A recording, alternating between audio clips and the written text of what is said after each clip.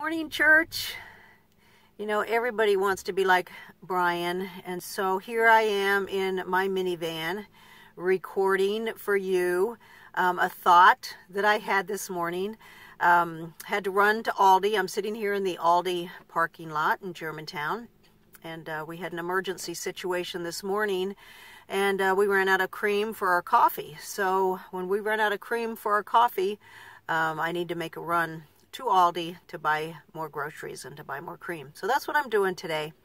But as I was driving here this morning, I was praying and asking God to allow me to experience His transcendence today, to experience His awesome nature um, in just a real tangible way.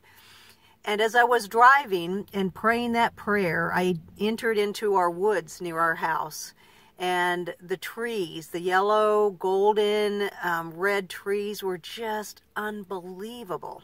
And I just thank the Lord for the awesomeness of the beauty of His creation. And then I kept driving and I saw a little girl standing there um, with her grandfather, and her hair was all messed up. She might have just kind of gotten out of bed or something, but just the cutest little girl.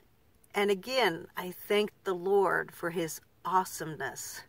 And as I just looked around with this mindset of seeing the transcendence of God, I saw it and I experienced it just in my everyday, driving around, going to the grocery store.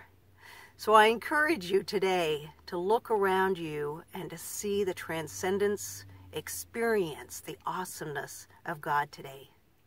God bless you.